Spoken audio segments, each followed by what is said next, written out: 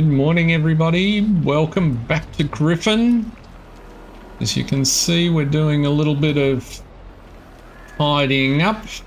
The uh, contractors have gotten rid of most of their stuff, and uh, it's pretty obvious that uh, they're not going to fix the road the way I hoped. In fact, it looks like the plan is just to leave this leftover gravel here. So what I'm doing is just tidying the pile up a little bit using their equipment before they take it away. And uh, hopefully we can just smooth out. You can see I've dumped a little bit in the hole there. Just, let's try it from this side. Just want to smooth it out.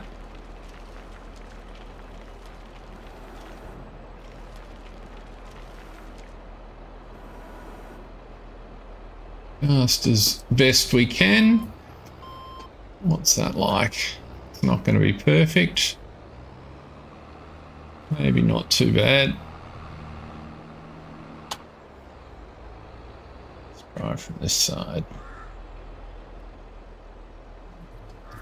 Try not to put the blade through our other silo.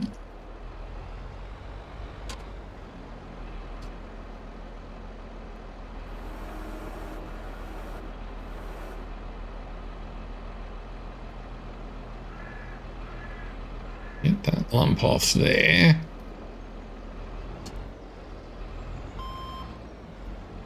Just see if I can tip.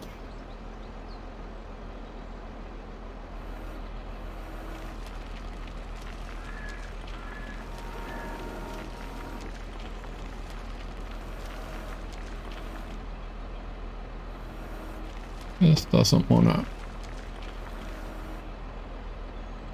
quite behave.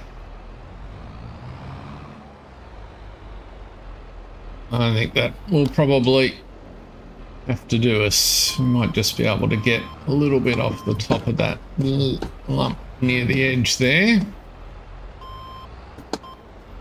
Uh, and then the balance will do with the landscaping tool.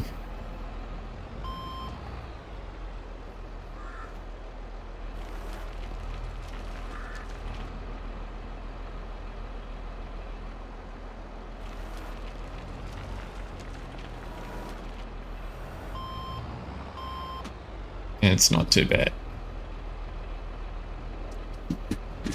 So the good news is we can um, start using it today. Yeah, I think that'll work fine as long as we don't go racing across there. Uh, so they've said as long as we don't fill it up uh, for at least another month or so, and realistically, I don't think we're in too much danger of that. Um, we're good to go. So that's why I thought I'll just move all this around while we've got access to the equipment. Get that bit there.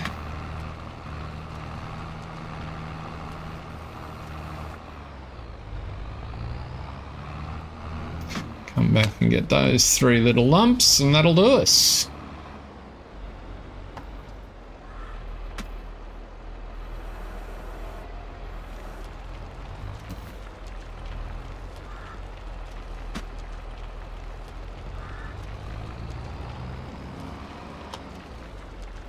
Got a little pile of stone should we ever need it.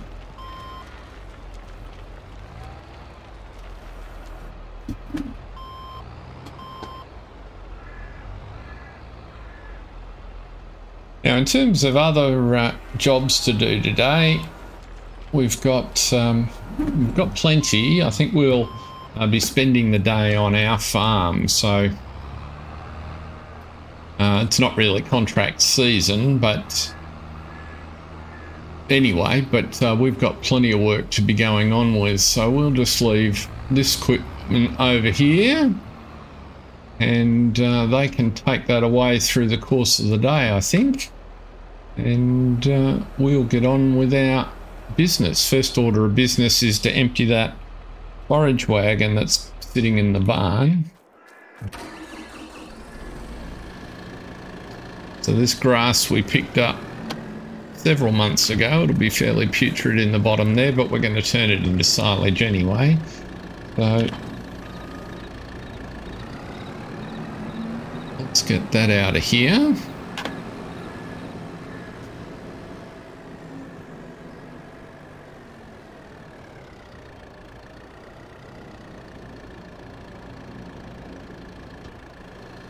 We can overload that. Um, the cows are in good shape. We got 30 there. Um, we'll get some more in there next month. Financially, we're in an okay position. Uh, we've got the hay to pick up around the house and also over in that field that we started baling the other day. So why did you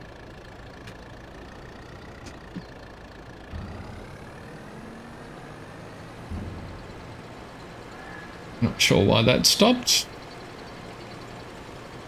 So we'll uh, we'll go over and check the east meadow and see where the baler got up to. I don't want to turn all that into hay bales because we can just as easily store hay here in the new silo and uh,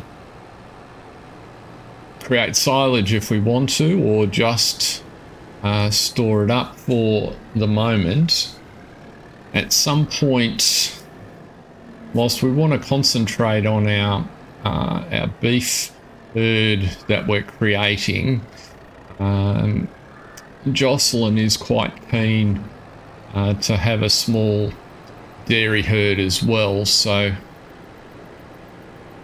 we'll um, we might put a, uh, a pasture in that enables us to to do that. Okay, so it looks like we have a number of bales out here. What I think we'll do is, um, still hasn't finished the headlands, so we'll go and start the baler with a worker just continuing on the course, and then we know it leaves the far end, so we'll go and uh, pick all that hay up. And that way at least we get this job well progressed.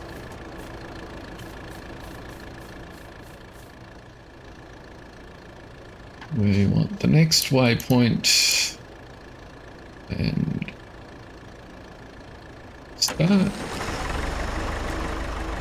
You should do fine.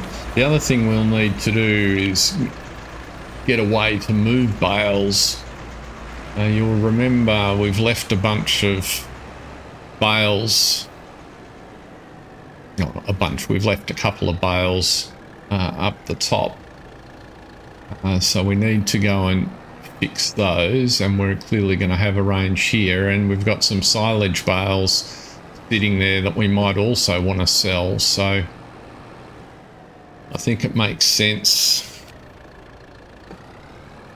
uh, to get a trailer that will enable us to move bales around. Uh, and just generally a flat trailer, I think, for whatever tasks we've got. We've also got to spread some fertilizer on our wheat field there and mulch the cornfield over the way. So um, We've got rain coming in the middle of the day. We probably want to get the fertiliser on before that.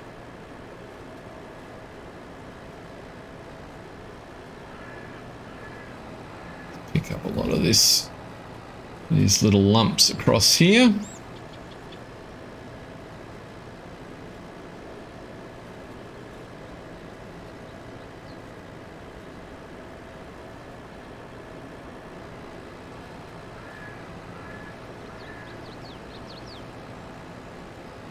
Could do with the wind, right?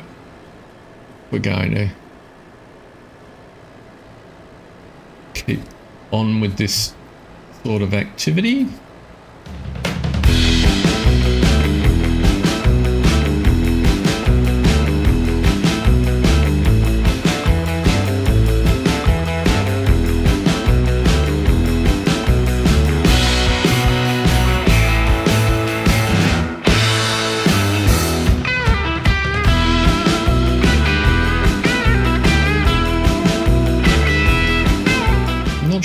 To put the if we were to put in a a small field for a, a dairy flock a dairy flock dairy herd and all the paraphernalia that goes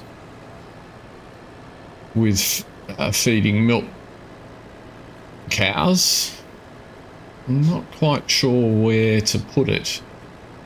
We've got plenty of room potentially in the land around the house, um, which has some appeal because just of the the amount of uh, work looking after them, uh, but equally on the other side,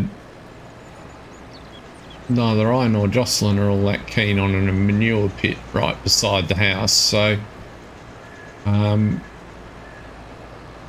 probably rules that out to an extent. Um, another alternative is to put it over on a piece of land of this meadow, sort of on an edge somewhere, maybe even down towards uh, the front corner where we came in. Uh, it's a little bit steeper there, but that's that's fine. We could use that quite well. Uh, and there's a good space that we're not really using even for this grass field that we've marked out uh, at the minute. So maybe that's an option.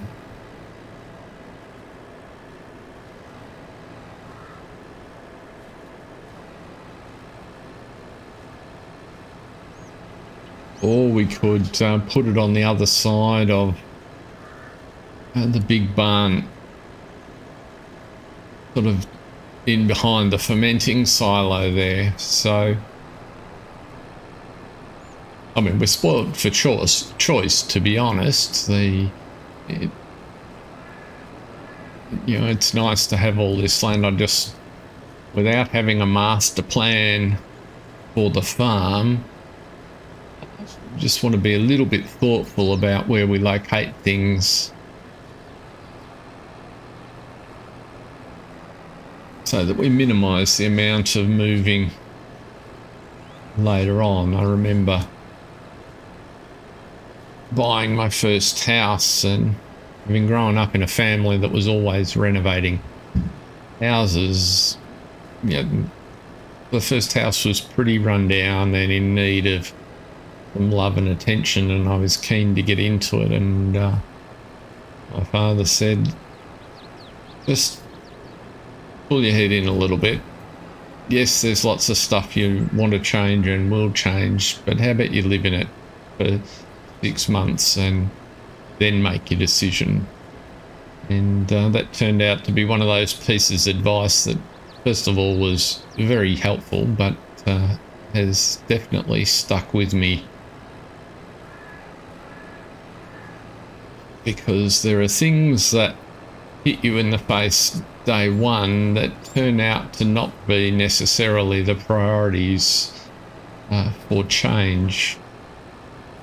And in some cases, in particularly renovating older houses, can be features that you get down the track and wish you'd retained. so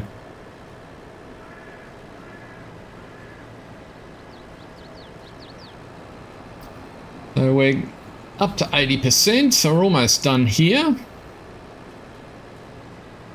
And we will certainly be able to pull plenty of hay off here, so we'll let the baler go and then uh, later towards the end of the day, I'll come over and uh, take another 50,000 litres of, of hay off. That'll give us a good, well, we're actually going to get closer to 60 by the looks, so it'll give us a good 100,000 in the in the silo and it looks like this is going to be a good time for us to stop anyway so we don't go put wet hay into our brand new silo. Yeah, so potentially we could put um, cow barn for milk cows just down here by the road. Access would be really easy. Um, I'm sure we could make a flat section. I'm not looking for a huge milk herd. Um, I think uh, Kevin's kind of got his heart set on being a Texas style rancher, so he wants lots of Angus and Limousin around the place. And that'll come in time. Hope they remember to take their heavy equipment sign.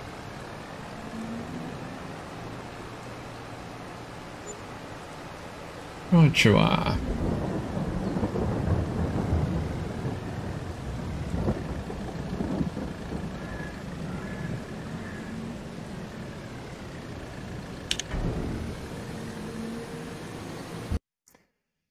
Uh, we've got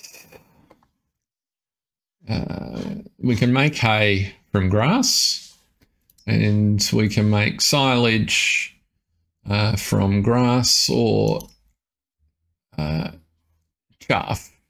So, and obviously we can store hay. So, um, we've got a little bit of grass in there,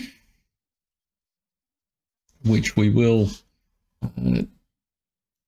turn on and make into cider. And you can see, I don't know if you recall from before, but the recipe is uh, better than uh, last the old one and much faster. So we'll turn that on. Now we're going to feed hay to our cattle, so having a good place to uh, to store hay is a good thing. Let's put this forage wagon away. And we'll grab the mulcher that we bought last time.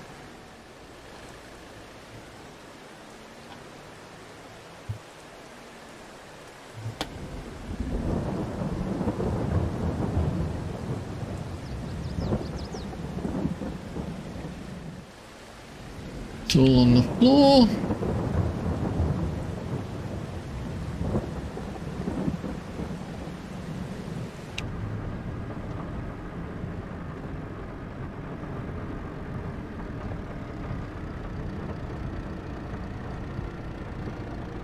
guessing our uh, baling tractor has run into something. Probably a bale would be in all likelihood.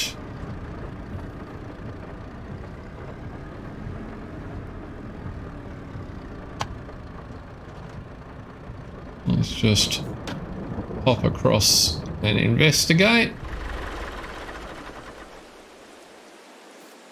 bit too miserable to be doing that in an open tractor, I think, and uh, not sure how practical baling hay bales in the rain is. So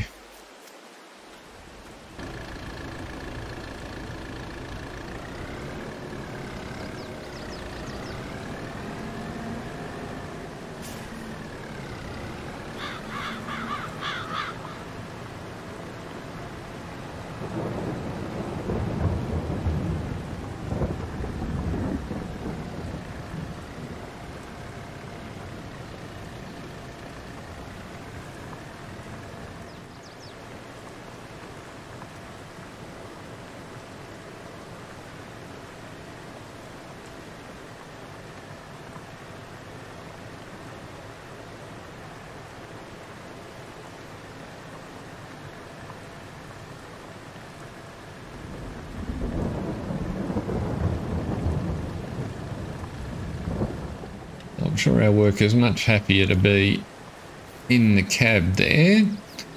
We'll let them just keep trucking across the field. I don't see any reason to put Courseplay on now that there's a headland. It should turn fine. I wound the cruise control down so that it won't drive at a ridiculous speed. That's the handy, I guess, to have the Katrina ignore speed. Now, what is this? This is a NTO. Oh, it's on lease, so we're not going to be able to modify it anyway. Let's get in out of the rain. And maybe see what's in the store. Hmm.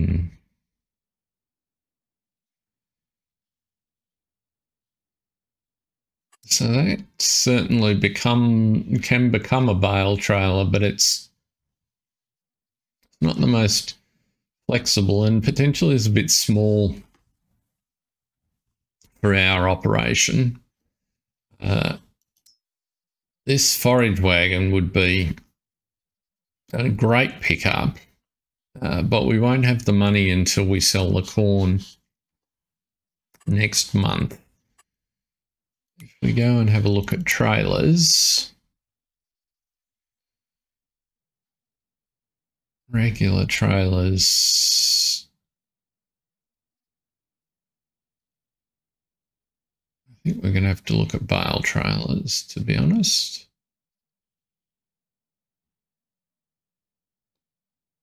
Yes. let's have a look at bale trailers, bale loaders.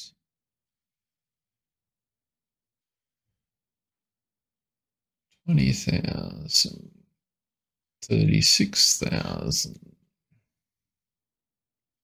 I've used the Johnston before. They are very versatile. These lizard ones.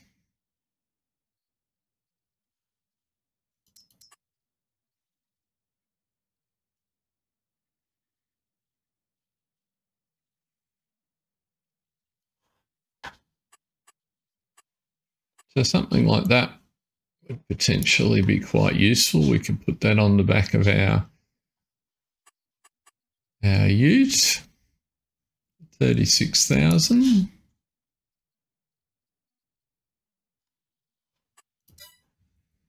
Uh, where else might there be?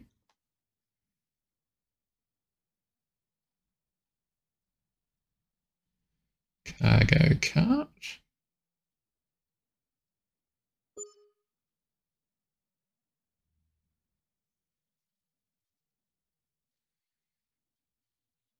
The other thing we need to check on is our cotton spinning operation. Which is working its way through the cotton we have. Uh, so still another couple of months to process all of the cotton. There'll be some fabric sitting down there which we'll sell in due course. Uh, the best time to sell fabric is in three or four months time. So we'll go and do that then.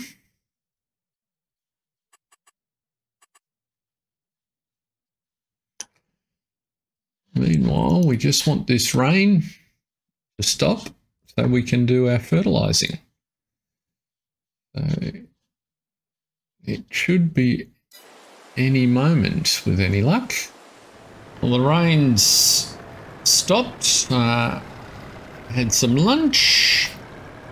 Uh, we're about halfway through this field, so the worker filling in for me did a, pretty reasonable job. So what I'm going to do, I don't want to put the bigger tractor, the bigger John Deere, it's more expensive to run uh, on this, but we do need the row crop tyres on the fertilizer so we'll stop just here and run across and fertilise the wheat while the weather is with us. Alt B to turn on our crop sensors, which should detect the crop here.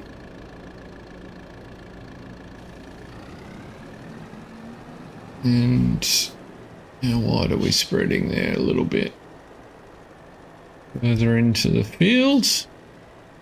That looks pretty good. This shouldn't take particularly long. It is using quite a lot of fertilizer, but then the nitrogen levels were pretty ordinary in this field. So we'll just do ourselves a bit of a headland here. I'm, I think we should have enough fertilizer.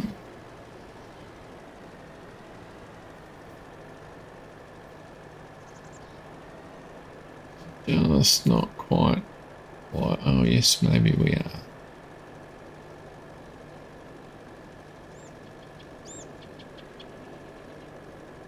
Here we go.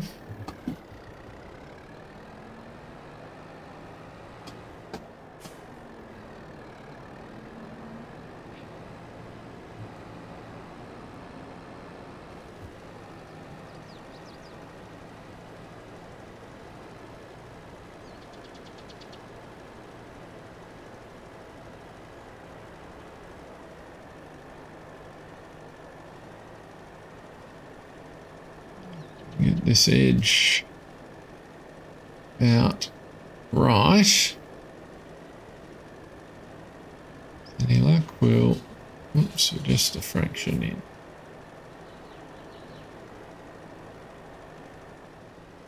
Somewhere around about here, the minimap is very helpful. Giving us an idea of the course to run.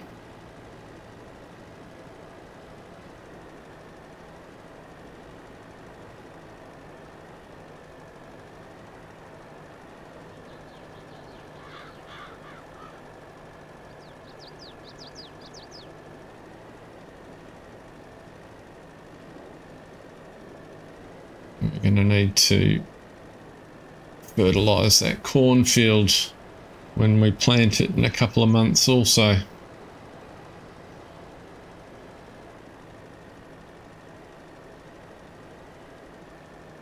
So that's pretty much this job done.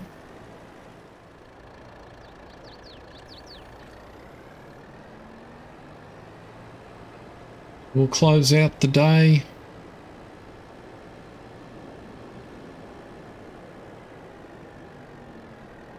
Just finishing the mulching on the cornfield.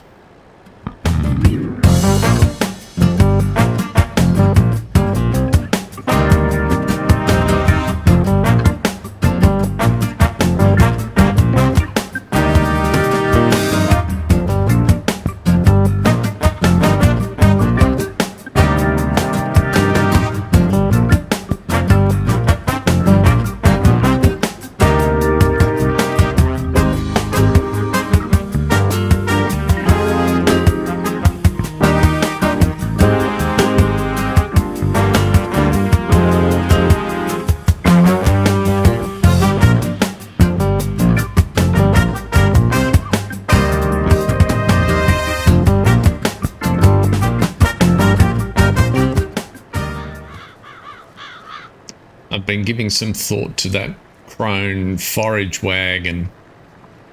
And uh, whilst it's a, a great deal and it would be a terrific pickup, it would also consume a good two thirds of the the proceeds from the corn harvest. And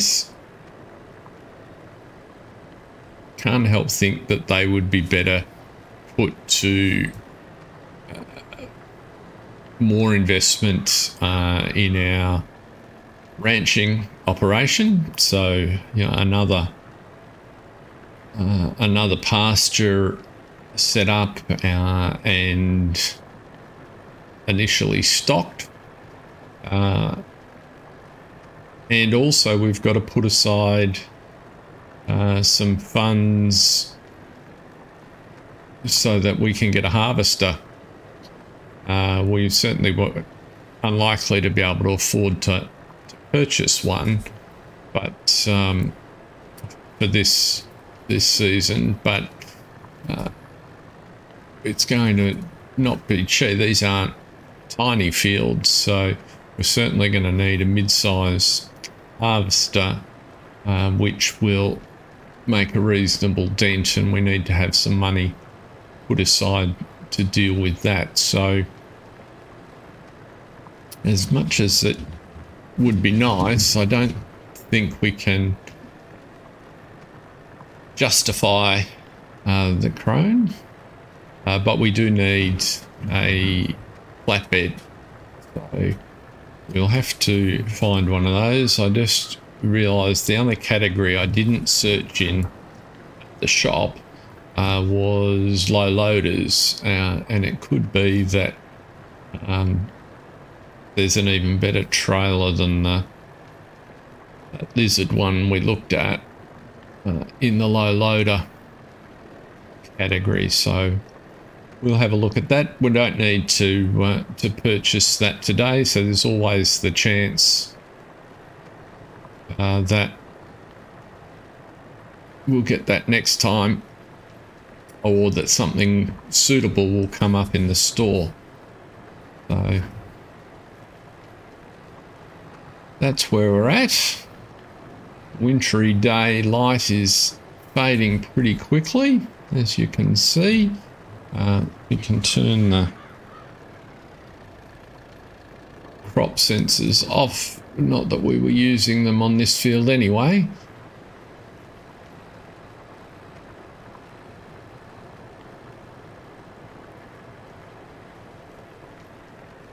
But we've pretty much got this one mulched. and uh, therefore ready to put the corn in. Well, we'll need a plant. Uh, there's another expense. We'll need a planter to to pop that corn in too. So I think we've got plenty of things drawing on our our funds. And that light is fading very quickly.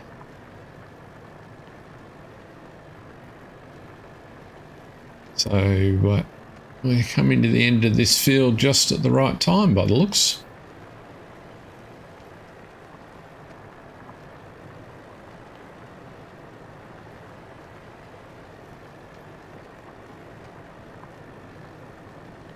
Just grab those stalks in the corner without trying to run our roller on the road.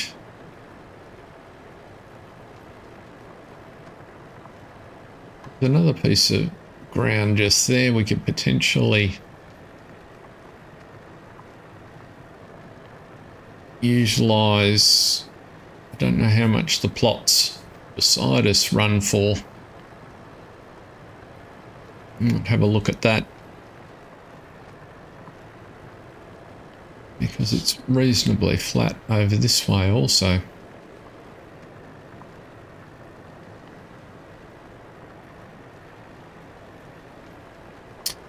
Okay, well, that's pretty much it for the light.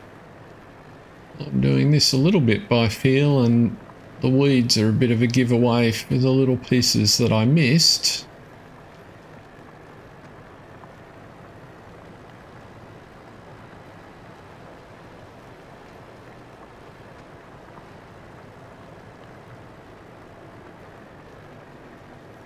So until next time, Thank you very much for watching. I hope you've enjoyed it.